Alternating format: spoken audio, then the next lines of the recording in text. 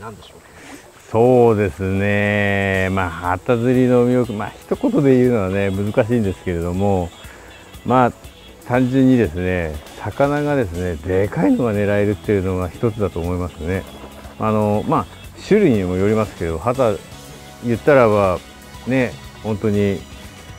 人間と同じぐらいのサイズのね旗もい,、ま、いるわけですからまあそういうのがね、まあ、そこまででかいのは分かんないですけれどもからでかいサイズのねロックフィッシュが狙えるっていうのはね、まあ、狙い、あのー、魅力の一つだと思いますね。あとは年々釣れるエリアがまあ拡大しているっていうのもまあありますけれどももうほぼ全国的に釣れるんですよ。まあ、言ったら、うん、まあちょっと岩手県とか、えー、宮城県とか茨城県あたり福島県あの辺とか北海道かはあんまりね、えー、狙うことはできないんですけれども日本海側はですねもう北の方はもう秋田から青森までもういますね青森までね釣れますし、まあ、南は言ったら沖縄とかねあちらの方面までずっと釣れるわけです。え狙える場所が広いっていうのもやっぱり魅力の一つだと思いますね。そうですね、まあ、基本的にですねあの狙うポイントっていうのはまあ多分この DVD 見てる方やなんかですとあのアイナメとかねそういやなんかはねやられてる方とか多いと思思いますね。なのであの基本的にはですね狙うポイントっていうのはほぼ同じです。ねアイナメがいそうだなねそういうがいそうだなっていうようなねポイントとまあ基本的にはほぼ同じでそれでまあちょっと気をつけるというかね、まあ、のアドバイス的なところで言うと、まあ、少し、まあ、潮の動きやなんかを、えー、がの釣果にダイレクトに影響する魚だっていうのをね頭に入れておいた方がいいと思いますね。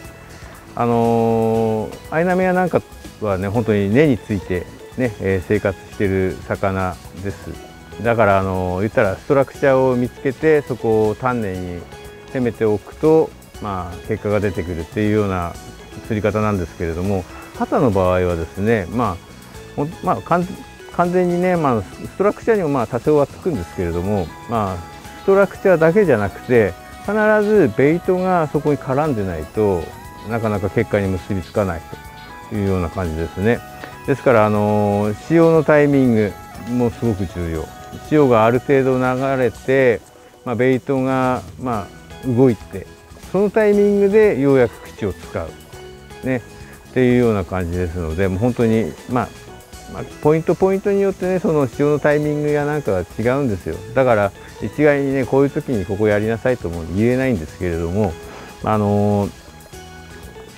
潮の、まあ、潮時間と潮時間ね潮見表やなんか見て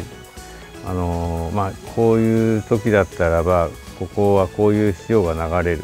とベイトがこういうところにたまる、ね、そういうのがね、まあ、フィールドにやっぱりね通わないとな分かんないんですけれどもフィールドに通ってそういうのが分かってくるとまあ旗やなんか釣るのにはあのまあなんていうのかな釣れる確率が上がるっていうのかな、うん、まだねやっぱり東北は若干旗の方の魚影は薄いですからあの毎回毎回確実に釣れるかって言ったらまあそこまでまあでも最近は秋田ぐらいまでだったら、ね、結構釣れるかな、うん、ですけれどもまあちょっとねやっぱり難しい魚の一つではありますけれどもでもあのー、釣れない魚ではない。ね。